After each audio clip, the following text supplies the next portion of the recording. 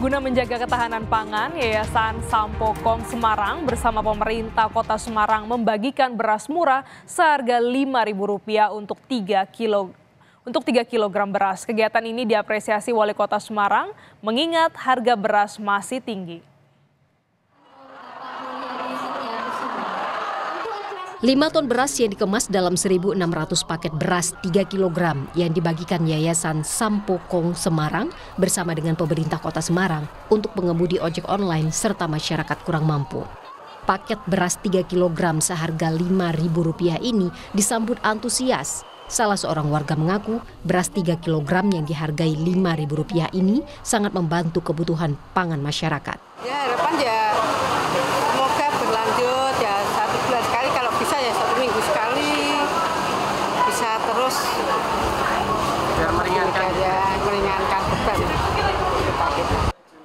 Tebus beras murah yang digelar Yayasan Sampokong berkolaborasi dengan instansi terkait diharapkan dapat membantu menurunkan harga beras. Pasalnya, kondisi banjir yang terjadi di wilayah Demak dan Grobogan menyebabkan harga beras masih tinggi.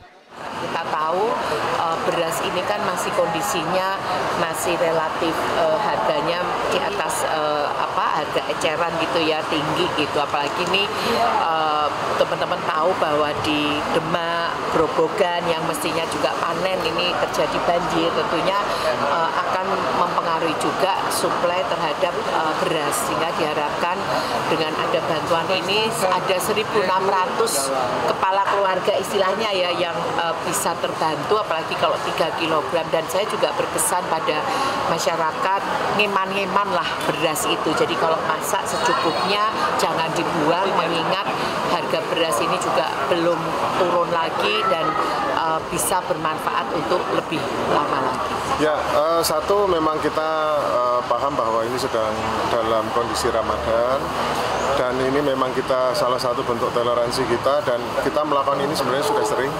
Uh, tadi Bu Ita juga uh, bulan lalu juga melakukan hal yang sama di tempat kita.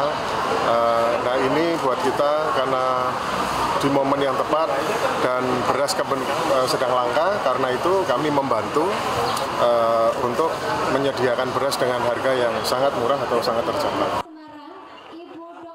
Lebih lanjut, Wali Kota Semarang menambahkan kegiatan pasar murah yang dilakukan semua unsur di Kota Semarang diharapkan dapat menurunkan harga sembako jelang lebaran. Heri Widodo, Kompas TV, Semarang, Jawa Tengah.